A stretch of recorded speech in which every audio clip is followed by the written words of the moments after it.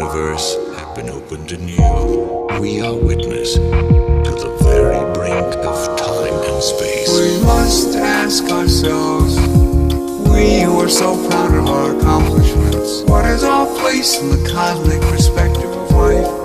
The cosmic perspective of The life. exploration of the cosmos is a voyage of self discovery. As long as there have been humans, we have searched for our place in the cosmos. Are there things about the universe that will be forever beyond our grasp? Are there things about the universe that are ungraspable? One of the great revelations of space exploration is the image of the Earth, finite and lonely, bearing the entire human species through the oceans of space and time.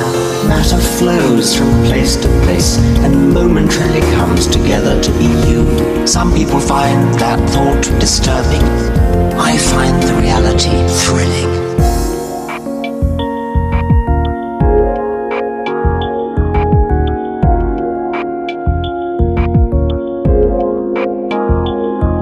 As the ancient myth makers knew, we're children equally of the earth and the sky. In our tenure on this planet, we've accumulated dangerous evolutionary baggage. We've also acquired passion for others, love for our children, and a great, soaring, passionate intelligence, the clear tools for our continued survival. We must ask ourselves, we who are so proud of our accomplishments, what is our place in the cosmic perspective of life?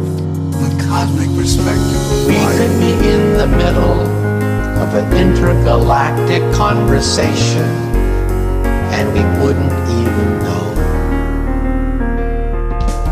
Are there things about the universe that will be forever beyond our grasp? Are there things about the universe that are ungraspable? One of the great revelations of space exploration is the image of the Earth, finite and lonely, bearing the entire human species through the oceans of space and time.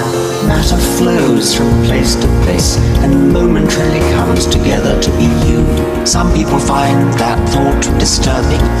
I find the reality thrilling.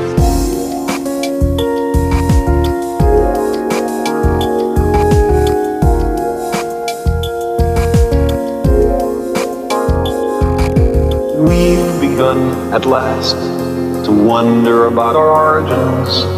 Star stuff, contemplating the stars, tracing that long path. Our obligation to survive and flourish is owed not just to ourselves, but also to that cosmos, ancient and vast, from which we spring.